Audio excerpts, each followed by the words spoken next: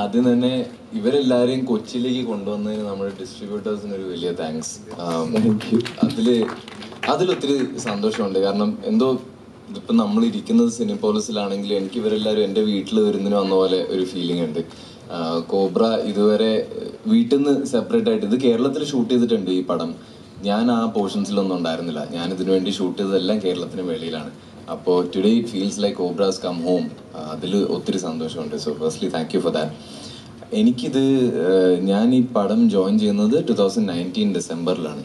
അപ്പോൾ ആ സമയത്ത് ഞാൻ അതുവരെ ചെയ്തിട്ടുള്ള പടങ്ങളെക്കാട്ടിലും ഒക്കെ ഒരുപാട് ഒരുപാട് വലിയൊരു സിനിമ വലിയ കുറേ ആൾക്കാർ വലിയ സെറ്റപ്പ് ഞാൻ കണ്ടിട്ടുള്ളതിലും ഒക്കെ വലിയ വലിയ കാര്യങ്ങളാണ് ഓരോ ഷോട്ടിൽ സംഭവിക്കുന്നത്. അപ്പം ഞാൻ ഈ മിയ പറഞ്ഞ പോലെ ആദ്യത്തെ ഒന്ന് രണ്ട് ഷെഡ്യൂളിലൊക്കെ ഞാൻ ഞെട്ടി നിൽക്കുമായിരുന്നു ആ ഞെട്ടലിൽ തന്നെയാണ് ഞാൻ വർക്ക് ചെയ്തത്. ആദ്യത്തെ ഷെഡ്യൂളിൽ തന്നെ വിക്രം സാറിന്റെ കൂടെ കോമ്പിനേഷൻ സീൻസ് ഉണ്ടായിരുന്നു. അപ്പോൾ ഞാൻ നേരത്തെ പറഞ്ഞിട്ടുള്ള ഒരു കഥയാണ് പക്ഷെ ഒന്നുകൂടെ പറഞ്ഞോട്ടെ. ഹലോ പറയാൻ വന്ന കഥ. അത് നല്ല അത് നല്ല കഥ. മറ്റൊന്നില്ല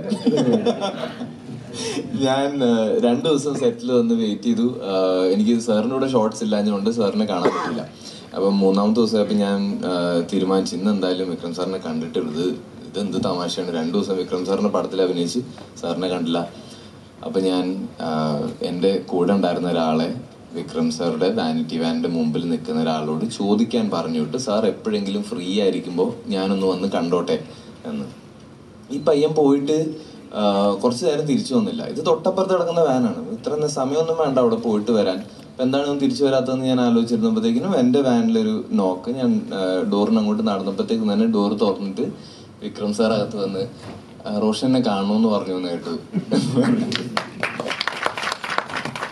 അതാണ് ഈ മനുഷ്യൻ. അപ്പൊ നമ്മൾ സീനിയർ ആക്ടേഴ്സിനോട് വർക്ക് ചെയ്യുമ്പോഴെല്ലാം എല്ലാവരും സ്ഥിരം ചോദിക്കുന്ന ഒരു ചോദ്യം ചോദ്യമുണ്ട്.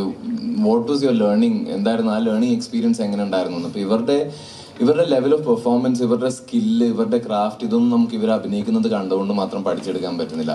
പക്ഷെ these are some qualities that you can pick up അപ്പൊ എനിക്ക് ഈ ഫുൾ പടം ഷൂട്ട് ചെയ്ത് കഴിഞ്ഞിട്ട് പോലും ഏറ്റവും കൂടുതൽ ഓർമ്മ നിൽക്കുന്ന മൊമെന്റ്സ് സാറിന്റെ കൂടെ അഭിനയിച്ച മൊമെന്റ്സിനെക്കാളും കൂടുതൽ ഓർമ്മ നിൽക്കുന്നത് ഇത്.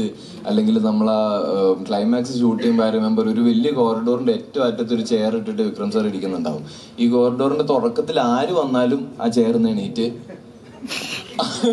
അവർക്ക് അവർക്ക് തിരിച്ചിരിക്കും ഓരോ പ്രാവശ്യവും. എന്നുവെച്ചാൽ ഒരു പോയിന്റ് കഴിയുമ്പോൾ എന്തിനാണ് ആ ചെയറിൽ ഇരിക്കുന്നത് അങ്ങ് നിന്നോ എന്ന് വരെ നമുക്ക് തോന്നും. അങ്ങനെയാണ്. So like I never work with anyone who treats his colleagues co actors crew members എല്ലാവരും with an equal amount of respect and അത് ഭയങ്കര എഫേർട്ട്ലെസ് ആയിട്ട് വരുന്നതാണ്. കാരണം ഈ പറയുന്ന പോലെ രാത്രി രണ്ടു മണിയായാലും വെളുപ്പിന് ആറു മണിയായാലും നമ്മൾ ഷൂട്ട് തുടങ്ങുന്ന സമയമായാലും എപ്പോഴായാലും ഇതിൽ മാത്രം ഒരു വ്യത്യാസം വരുന്നില്ല. പിന്നെ വ്യത്യാസം വരാത്തത് പെർഫോമൻസിലാണ് അതിപ്പോൾ നിങ്ങൾ ട്രെയിലർ കണ്ടു ടീസർ കണ്ടു. ഇനി. ഇനി തേർട്ടി ഫസ്റ്റിന് ബാക്കി കാണാം. ഓക്കെ